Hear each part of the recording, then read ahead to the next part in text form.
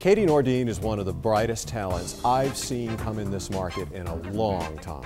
She has a keen sense of curiosity. She can take difficult concepts and explain them in an easy to understand manner. And she's very comfortable in front of the camera. What you see is what you get. I'm just really excited about this new anchor team.